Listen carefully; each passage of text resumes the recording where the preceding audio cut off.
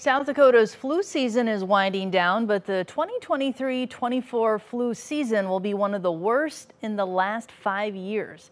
According to recent updates from the Department of Health, flu deaths are up to 42 for the season. That's the highest since there uh, were 43 deaths in the 2018 and 19 flu season. You'll find a chart breaking down the flu season numbers from the past five years and what a local doctor says about vaccinations. That's in a KELOLAND.com original by Eric Mayer.